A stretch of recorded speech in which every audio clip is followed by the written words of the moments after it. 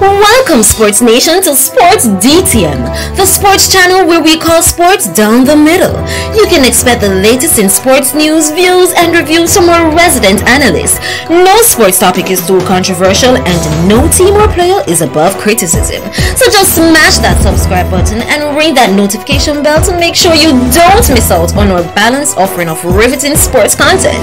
And don't forget to like, share, and leave a comment below. Welcome to Sports DTM. Greetings, Sports DTM fans, and welcome to another episode of Sports Down the Middle, the channel of undiluted sports content. Now, the second installment of the Diamond League series is slated to get underway May 21st, 2022 in Birmingham, London. One of the Blue Ribbon event is the women's 100 meter race. It is going to be a loaded field with two of the Jamaica's golden girl, Elaine Thompson Herah and Shericka Jackson, will be on show. The field also have the likes of Gabby Thomas, fresh off the victory, our narrow victory over Shericka Jackson last weekend in the 200 meter, Dina Smith from Great Britain, Ajla Del Ponte from Switzerland, Daryll Neita, Destiny Smith Barnett from USA, um, Anthonique Strachan from Bahamas, and Cambria Sturgis from USA.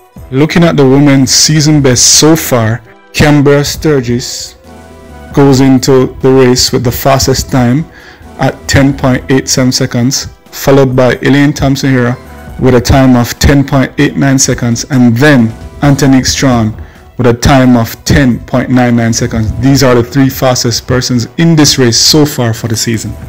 However, if we were to look at potential and the class and caliber of these athletes, Elaine Thompson Herah would be the favorite. One can look for a fast time, possibly 10.87 seconds, dipping below 10.8 seconds.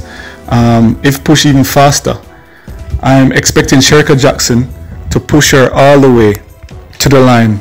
As she, Shericka Jackson, should be able to end to finish this race in second, um, with Dina, Asher Smith, and Gabby Thomas fighting for third and fourth, respectively. This race should be a cracker, and we are expecting great, great things. Um, let's see how fast Elaine Thompson will go, given this strong, strong feel and competition.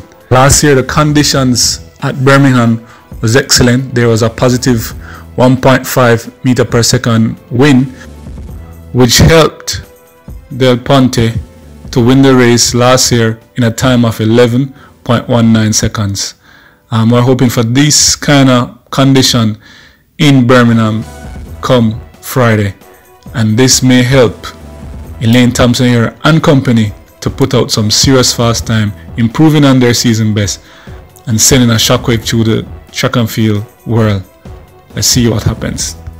Fans out there, leave all your comments in the comment section below. Let us know how you feel about Elaine Thompson Herah. Let us also know what are your expectations for this race coming Friday? Let us know who you're expecting to win and the other placements. What do you think about Shericka Jackson? Does she have it in her to beat Elaine Thompson Herah in this Birmingham, London Diamond League race? Leave all of that in the comment section below and don't forget to like, share and subscribe and to tell a friend, to tell another friend and to tell all of their friends to join our channel. This has been another episode of Sports Down the Middle. Be blessed.